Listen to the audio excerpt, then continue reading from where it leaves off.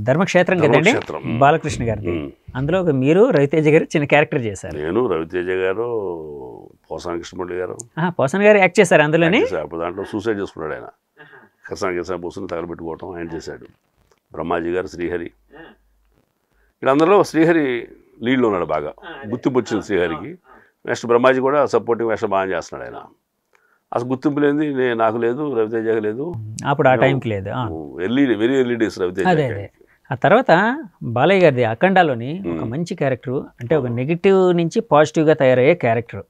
Positive వైపు తయారై almost హీరోకి సపోర్ట్ చేసే ఒక క్యారెక్టర్. చాలా మంచి గుర్తింపు వచ్చిన క్యారెక్టర్. ఆ సినిమా చూసిన తర్వాత మీకు చాలా మంది ఫోన్లు కూడా చేసి ఉంటారు సో ఆ, క్యారెక్టర్ చేసేటప్పుడు బాలకృష్ణ గారుకి ఎప్పుడైనా నేను పలానా సినిమాలో పలానా క్యారెక్టర్ ఫస్ట్ డే చేశానండి చెప్పా. చెప్పారా? ఫస్ట్ డేనే నేను ఆయన చూడ ఆయన కూర్చున్నా దూరంగా. నేను నడుచుకుంటూ వెళ్తున్నాను. పక్కనే బోయపాటి గారు ఉండి మహేష్ గారు అని చూపించారు? హీరో గారు ఎక్కడ ఉన్నారని. నేను గౌబా వెళ్ళి సార్ నమస్తే అని చెప్పన్నా. డీటీ వ్యాషింగ్ చేస్తున్నాడని బోయపాటి గారే నన్ను పరిచయం చేశారు ఆయనకి. చేసిన తర్వాత సార్ నేను మీతో ఇది రెండో సినిమా అన్న. పలు సినిమా ఏంటి అన్నాడు ఆయన. ధర్మక్షేత్రం అన్న. ఎప్పుడు Dharmakshetram? Thirty years back Dharmakshetram. ఈలోపు ఏం చేస్తావు నువ్వు అన్నాడు నేను మధ్యలో ఇండస్ట్రీ వదిలిపెట్టా సార్. మళ్ళీ ఇప్పుడు ఇప్పుడే మళ్ళీ చేస్తున్నాను సినిమాలు అన్న అన్న. అట్లా బాలయ్య బాబు గారికి ఫస్ట్ డే చెప్పాను. ఆయన కూడా ఒకసారి ధర్మక్షేత్రం చెప్పగానే ఒకసారి వచ్చింది ఆయనకి. ముప్పై ఏళ్ళ నాటి విషయం కదా. అట్లాగా ఇది. ఆయన కూడా చాలా మంచి ప్రోత్సాహం ఇచ్చే మనిషి. సెట్లో ఎలా ఉండేవారండి బాలయ్య గారు? ఆయన చాలా సరదాగా ఉంటాడండి ఆయన. ఆయన సెట్లోని అంటే బయట అనుకునే ఇదండి. అంటే చాలామంది ఆయన సెట్లో ఉన్నారంటే కొంచెం భయపడుతూ ఉంటారు. భయపడుతుంది ఎందుకంటే వీడు ఓవర్ యాక్షన్ చేస్తే ఆయన ఆయన క్షమించడం. సహించడం.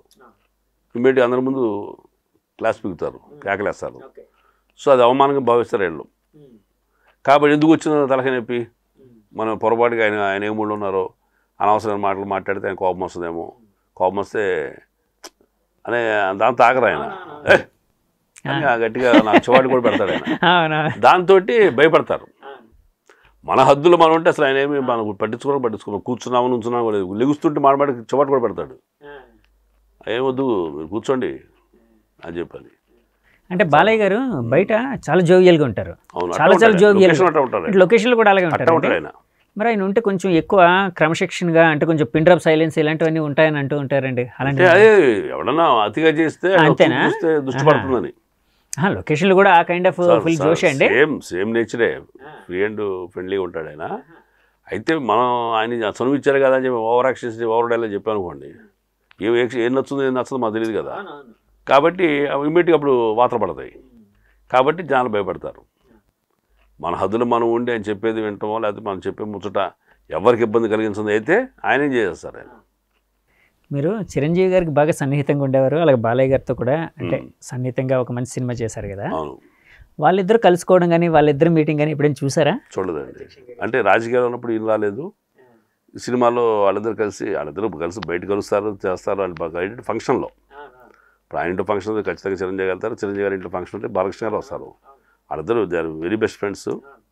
ఆ విషయంలో జనాలకి అపోహలు కానీ వాళ్ళు మంచిగా ఉంటారు. అందరు హీరోలు కూడా వాళ్ళు కలిసిపోతున్నారు అట్టగా అందరు హీరోలు కూడా ఆ, ఫోజులు ఈగోస్ అన్ని బౌండరీస్ తెరిపేసి కలిసి తిరిగే ప్రయత్నం కలిసి మాట్లాడుకునే ప్రయత్నం జరుగుతుంది. మన దగ్గర మోర్ ఫ్రెండ్లీ వాతావరణం కదండి? More friendly atmosphere. పాతకాలం కంటే ఈ కాలం ఎక్కువ స్నేహంగా ఉన్నారు. కలిసి వాళ్ళిద్దరు కలిసి చూడలేదు కానీ. బట్ ఏమైనా విన్నారా వాళ్ళిద్దరు కలిసినప్పుడు ఎలా ఉంటారు ఫోటోస్ ఏంటని? చూసాం ఫంక్షన్ కాదు అంటే మీరు చిరంజీవి గారు కాంపౌండ్లో ఉండేవారు కదా? నేను ఏమైనా విన్నారా? అంత రాజకీయమైన చర్చనీయాంశాలు ఓకే ఓకే ఓకే. ఈ వచ్చిపోయే వాళ్ళు వీళ్ళు చెప్పే విషయాలన్నీ కూడా పాలిటిక్స్ కాబట్టి అక్కడ ఈ టాపిక్ వేరే సినిమా టాపిక్ ఉండేది కాదు. ఓకే. నేను కూడా ఆయనతో మూడు సినిమాలు వరుసగా చేసి కూడా ఏనాడు చెప్పలా. చిరంజీవి గారితో. చిరంజీవి ఓకే. నేను యాక్ట్ చేస్తాను ఒకప్పుడు. ఉమ్. ఓ పదేళ్ళ కిందట మీతో చెప్పలేదు. ఎప్పుడు. ప్రజారాజ్యం టైంలోనే అంటే ఒక కార్యకర్తగా ఒక అభిమానిగా వెళ్ళారు వెళ్ళాము ఆయన. ఆయన కావాల్సిన పని చేసి పెట్టడం తప్ప ఇట్లా కలిసి మాట్లాడే టీ వచ్చే బ్రేక్లో కూడా ఉమ్, సైలెంట్గా ఉండడు తప్ప. సూది మొదలెట్టాడు కాదు సో నాకు అదే ఆశ్చర్యం నేను నటున్న విషయం నేను ఎప్పుడు చెప్పలా ఆయనకి ఏనాడు చెప్పలా.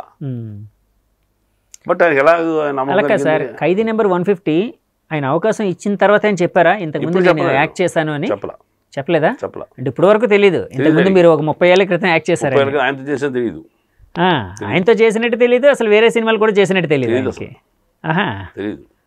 నేను చెప్పలా మరి ఆయన. ఆయన ఎవరు చెప్పారేమో. సార్ ఆ సినిమాలో మహేష్ ఉన్నాడండి మీతోటే. చెప్పుంటే చెప్పారేమో కానీ బట్ నేను యాక్ట్ చేసే నాటికి ఆయనకి నేను అటువంటి విషయం తెలియదు ఓకే. ఇప్పుడు ఆ ఆ సినిమాలో ఆయన మెకానికల్ వచ్చిందనుకోండి నేను ఒక లాయర్ వేషం చేశా. సత్యనారాయణ గారు శారద కాంబినేషను. అది చూసినప్పుడు మహేష్ కదా అని అనుకోవచ్చు.